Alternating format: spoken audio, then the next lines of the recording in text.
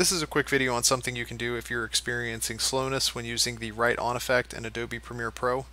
I found a video on YouTube where a guy showed how you could use this effect to create a route across a map, and whenever he created this route everything was really smooth and snappy, but whenever I tried the same thing on my machine, the effect was really slow and unresponsive and it completely pegged my processors.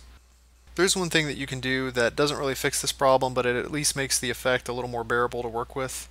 If you go to the brush spacing here and increase it to a much higher number, you'll see that the effect kind of changes to dots instead of a solid line. But then if you go to the brush position, it makes it much easier to drag it around to where you want it to be.